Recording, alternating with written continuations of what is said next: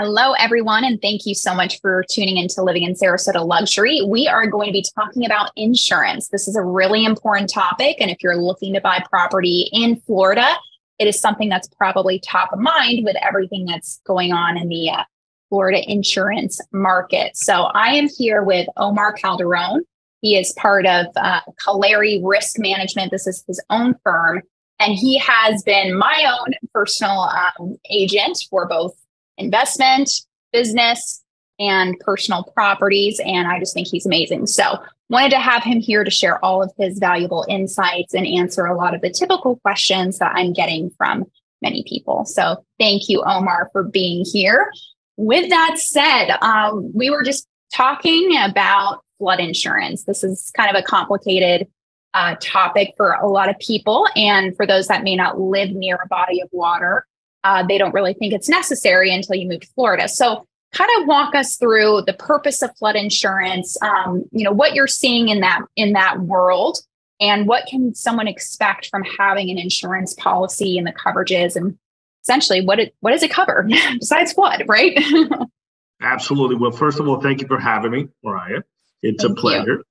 You. Um, you know, anytime that uh, you know we, we get a chance to really talk about the insurance. Us guys, you know, in the insurance, yeah. we, we get excited because nobody oh, really yeah. to talk sometimes about insurance. it's not the most fun topic, right? Let's be real. Right. it's, a, it's a necessary evil. We want to make sure we provide our clients with the most up to date information, um, basically to protect their property so that they can make an informative decision. The one thing and the first thing that I talk to our clients about is homeowners completely carves out flood insurance.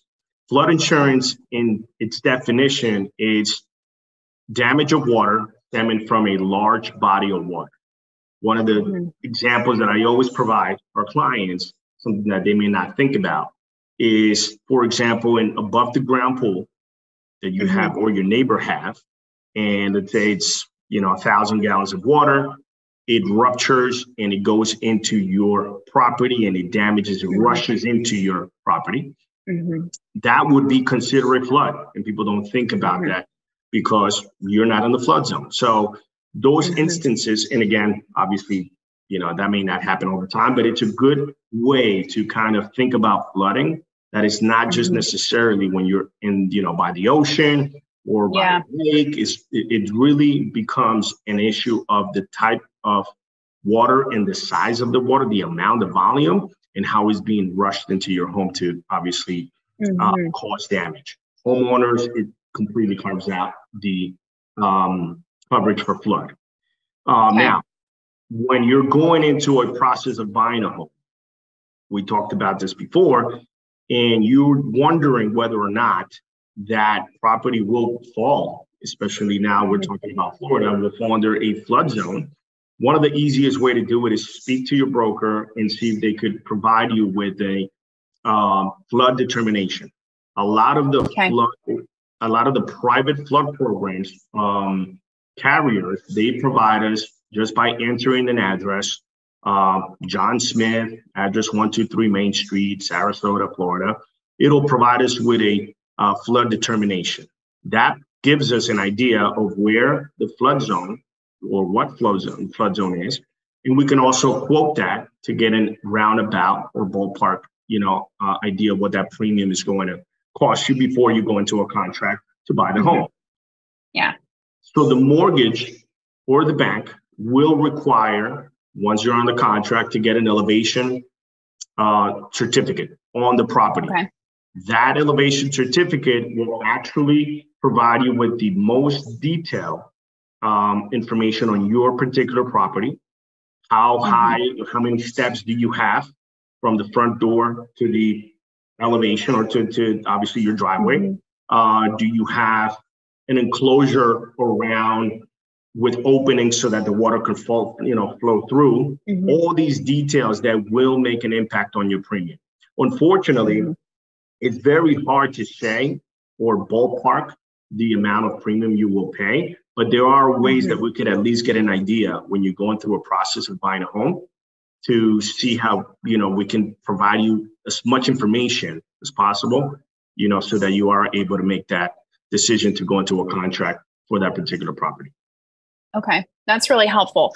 So a lot of people have been reading about a lot of carriers leaving the Florida market. Um, we recently, you know, last year we had Hurricane Ian, and I think everyone suspected that that would potentially increase the rates of flood because areas that never saw flooding all of a sudden were flooding, um, you know, near Manatee River and things like that.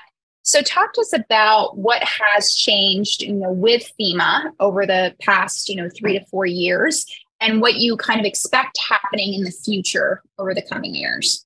Absolutely. As it relates uh, to flood.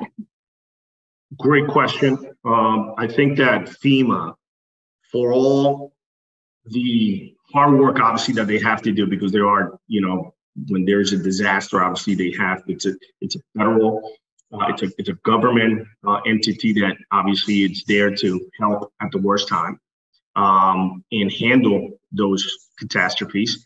The problem with that is that any every time that we've seen a, a, very big event, uh, I'll give an example is Hurricane Sandy uh, up north.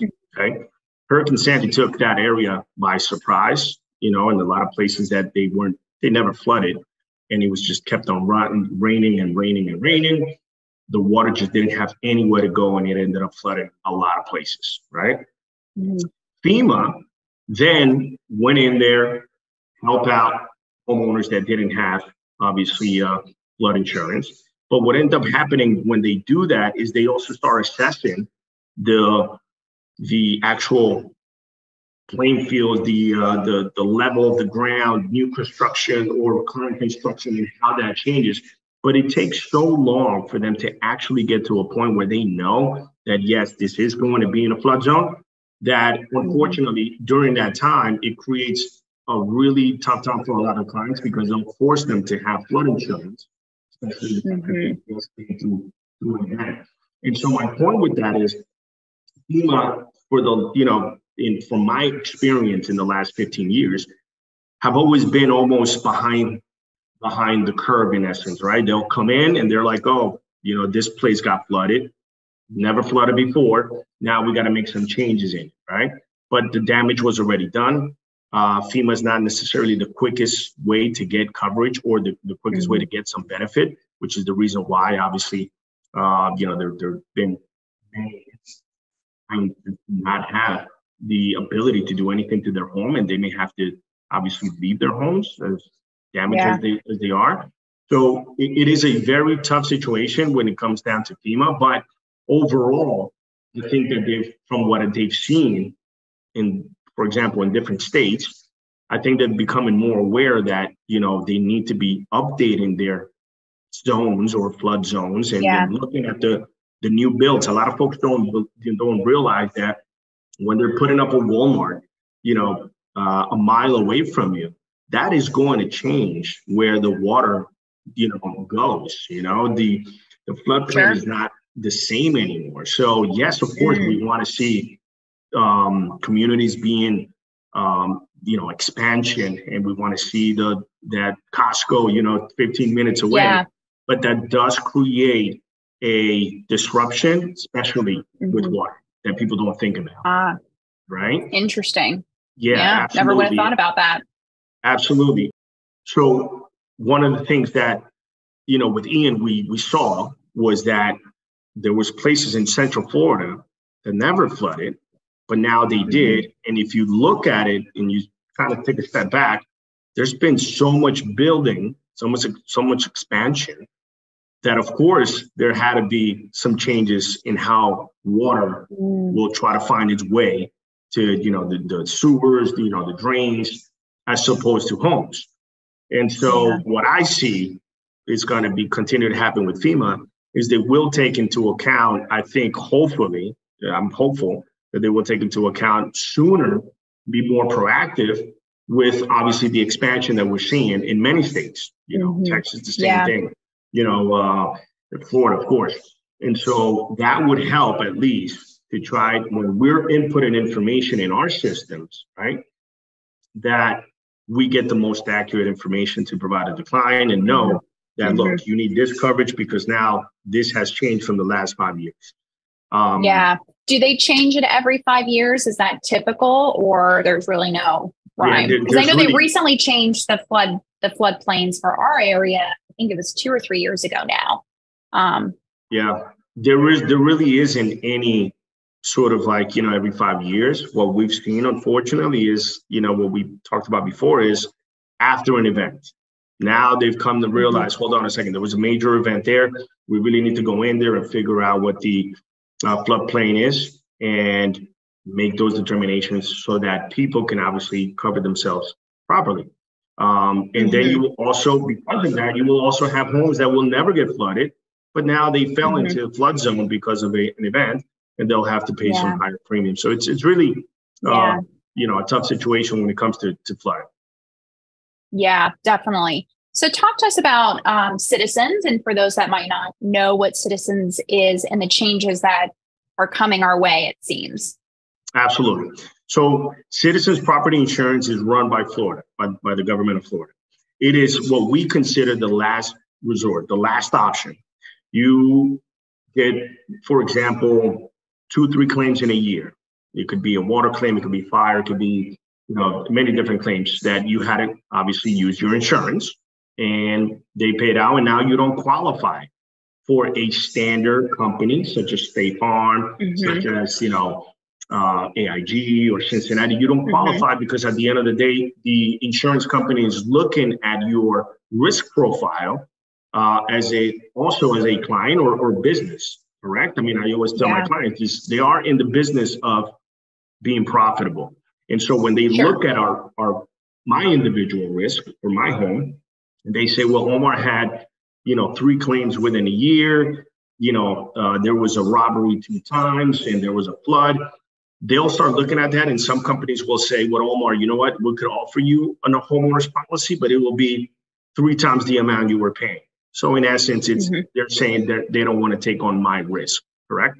Yeah. And so Citizens was in essence set up so that no one would be uninsured.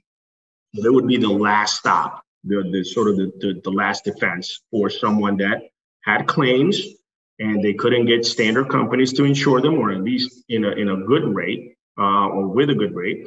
And so citizens will provide insurance to them. now. What's ha- what's been happening in the last three years is that citizens have now become the largest insurer in Florida, and that's hmm. not good because mm-hmm. they are backed by the government, meaning that they don't actually have the liquidity or the mm-hmm. uh, reserves to actually pay out the claims. If all their clients right now would have a catastrophe and claim, they just will not be able to pay it. And obviously, it'll fall back on the government and then fall back on FEMA. And obviously, that would mm-hmm. be a huge problem. And so, right. They're increasing rates as of late because of the amount of risk that they've taken on because of companies. Mm-hmm. There's two things that have been happening with companies. One is some companies have said we can no longer run a profitable business in Florida or in other states. Uh, it has happened in, in many other states. And they decide to either close business or mm-hmm. completely get out of Florida and run insurance in, in other places. That's the one thing.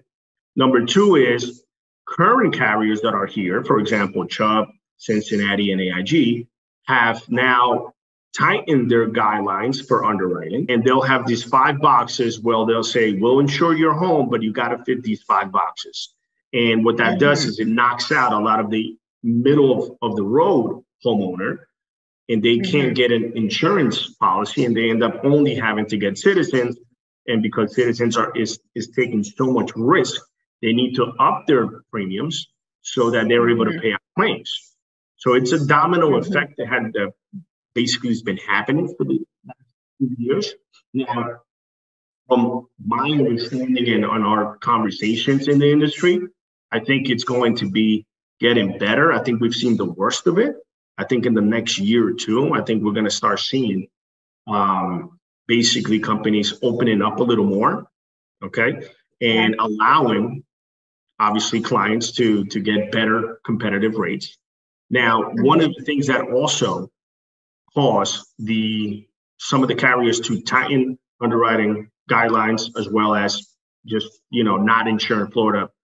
Uh, period is because in December, one of your questions that you had was mm-hmm. in regards of the meeting that they had in December with the Senate. Yeah. And, and basically yeah. what they did, and, and and the governor here, they what what they what their goal was with that meeting is to really emphasize on holding insurance companies accountable. And that means more reinsurance, which is a a better term for reinsurance is a backing from another company. Usually it's an overseas company. Okay. So if it's like a Lloyd's okay. of London and they want to invest in property insurance in Florida, they go through like a Travelers or like to say like, like a Chubb, okay. and they'll say. "Listen, we'll we'll take a million dollars in risk. So if you have ten million dollars in risk, we'll take one million, and but we own those policies as well. So it's a business strategy from them, right? Yeah. So, but a lot of the companies don't have reinsurance. And basically, okay. what the government wants is to make sure that they're not just, you know, the only ones holding the bag in, in a sense, mm-hmm. uh, or mm-hmm. the only ones responsible, and they may not have the reserves needed okay. to continue selling policies. So that's kind of one one thing. But the biggest thing that the uh, that happened in December of 2022 was there was a lot of regulations for claims processes. Okay.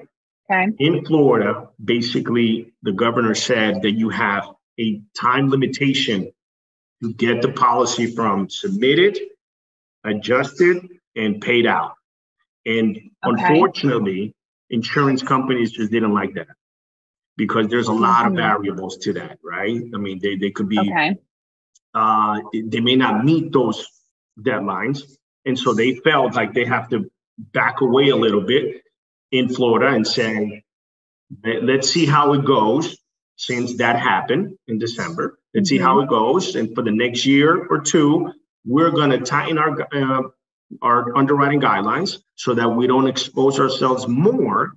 And then let's see how these things, how these um, new guidelines or new um, insurance um, processes for claims worked out for the obviously companies that are insuring here. For example, like American mm-hmm. Integrity, uh, you know, even citizens themselves. Those that became a problem as to why a lot of the bigger companies said we're not getting this thing, but we're holding on to a new business. In that, in, in our share is because they want to see how these new regulations will play out on the insurance company. Again, they're not in the business of obviously, you know, wasting or um, having to spend more money during claims because they're mm-hmm. obviously going to have to pay claims. So it is a business um, mm-hmm. situation as far as like the insurance yeah. business is concerned. And because of the changes that they did, uh, and and and obviously it is a good thing for the client because you've heard horror stories about clients having to be, you know, a year without having any funds or any yeah. you know, anything paid out. I mean, that's just terrible. Yeah. So there is reasoning Absolutely. behind what they did in December. Uh, okay. And of course, that led to some of the companies to sort of hold them back, but that's not going to last forever. Obviously. Okay. You know, in Florida, the one thing, uh, or the one of the many good things, is the expansion that it that is going through. The, all the new builds. That's just great um, property risk for companies. They want to insure those new yeah. homes. So yeah. the, the, the opportunities there for those companies to say, I want a piece of that market share, right? So to sure. us, the market share, that's the reason why I feel that in the next year or two, we'll get back to that place where the competitive uh, rates and competitive uh, nature in the insurance will, will come back. Okay. So you actually see potentially rates going down because I know like within the past year, a lot of properties, including condominiums, I mean, they saw sometimes 30 to 50% increase in their rate. And like that was astronomical. Um, you know, we're fortunately in an area where a lot of people can't afford that, and but there's areas that can't. So that's not a normal thing. We shouldn't expect that to happen again, is what I'm hearing from you. That's how we feel. That's how we feel from the conversations that we had in the last year. I think we've seen the worst of it. And I think in the last, in the next year or two, I think we'll start uh, seeing companies easing into the market again. You know, instead of having five boxes to check off, they'll go to four, they'll go to three, and they'll open up a little more so that obviously um, the rates get competitive because that's one thing that will happen okay. as well is as soon as we get more companies in, the rates will start, you know, people still want to get that market share and or yeah. certain people but businesses and they will obviously start mm-hmm. competing for those rates and that's a good thing for us yeah i really hope you're right that would be amazing i know I things know. would kind of level out um you know there's a lot of there's a lot of concern from people and they're just you know they don't want to have a 30 50000 dollar policy on a property that used to you know be 15000 for instance it's just not an ideal scenario but um well great is there anything else you think is important to share with the audience as far as the dynamics of florida things to know uh, we'll we'll be having you on more regularly because I'm sure this is a very changing market, just like real estate purchasing. So, but yeah. No, absolutely. I think um, the one thing that I would like to hone in as far as homeowners coverage. I think you know with homeowners, it, it's different than auto insurance. Auto insurance is sort of the um, everybody has to have a specific or or they have they got to have auto insurance, but they got to drive to work. And it's homeowners really is uh, um, a conversation that we want to have with our clients because no, not one home. My home is not the same as my neighbors.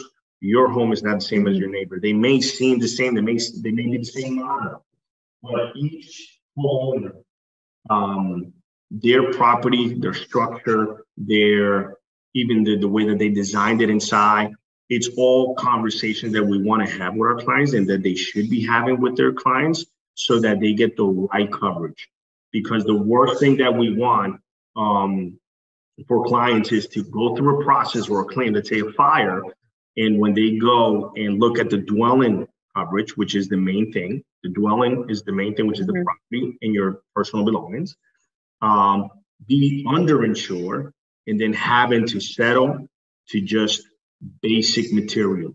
And I'm talking about folks yeah. that have, you know, very spec, you know, beautiful crown molding and you know, very um, yeah.